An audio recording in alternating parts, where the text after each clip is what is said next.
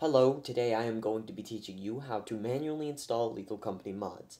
Say r2modman or Thunderstore wasn't working for you, or you have a cracked version of the game, which is, I'm assuming, what most of you are here for, that you want to play mods on. I can help you with that. Now, without that out of the way, let's begin. The first thing you want to do is install BepInExPack right here. I'll leave the link in the description, or you could just search for it yourself. It's just the Thunderstore link right here. It should be pretty easy to find.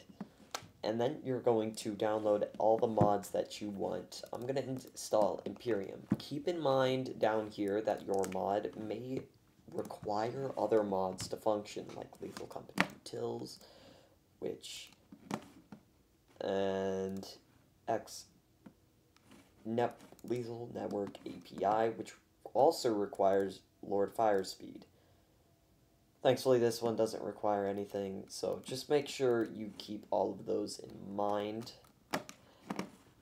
Now, I already have them downloaded myself, so now what we're going to do is, if you have a cracked version of the game, go ahead and go into your um, Lethal Company save files. I have a real one, so you're going to go to Steam, click on the settings here, click on, or go to Manage, click on Browse Local Files, then you're going to open your downloads folder and drag open the BepInExPack folder that you downloaded. Go into this once and you should have these three files. Go ahead and drag them in. Place any files in the destination if that happens. Then um, go ahead and launch the game once should see this. If you don't, that means you did something wrong. Once this pops up, just close the game.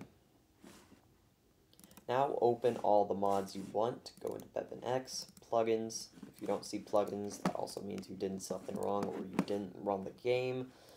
And you look for the folder with the same folder as the DLL or application extension and everything inside that folder needs to be moved into this plugins folder. Yep, Beppin get out of here. Now, don't drag in the plugins folder only. Like I said, look for the DLL file and everything else inside the same folder as it, and drag that in. Because sometimes it requires these asset bundles. Don't want to miss that, or else the game will not run properly.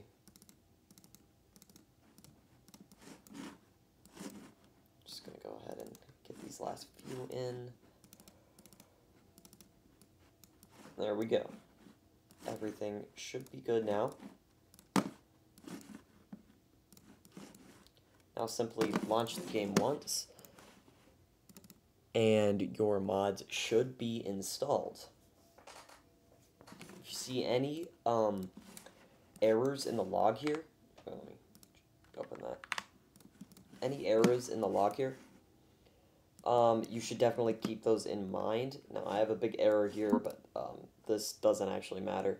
If you see anything like um, this doesn't work with this because it couldn't find this, you definitely need to keep those in mind. That means you didn't install a required anything that might have been required. But right now, I'm doing just fine. So go ahead and launch your game.